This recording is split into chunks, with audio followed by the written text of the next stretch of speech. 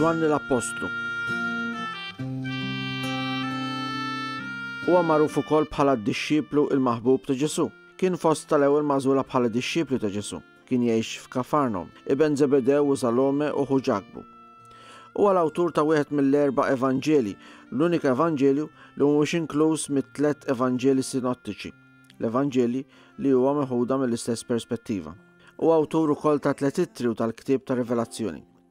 Fl-Evanġelju tiegħu San Ġwann kontinwament jinsisti li Ġesù kien il-Kristu li ben ta' Alla mibgħut fid-dinja biex itabba bid-dnubiet tad-dinja. Huwa jirreferi għal Ġesù b'diversi modi fosthom bħala il-Ħaruf ta' Alla u d-Dielja. San Ġwann qatt ma jagħmel referenza għalih innifsu b'ismu fil-Vanġelu. Iżda, f'erba' waqtiet tal-Vanġelu hu jirreferi għalih innifsu bħala id-dixxiplu l-maħbub. Huwa u ħuh Ġakbu kienu sajjieda u kienu jistadu fil-baħar tal-Galilea. Kien wieħed mit-tliet appostli li akkumpanjaw lil Ġesù f'uħud mill-iktar mumenti importanti tal-ħajja tiegħu, fil-qawmien ta' bin Ġajru, fit-Trasfigurazzjoni u fl-ort tal-Ġetsemani.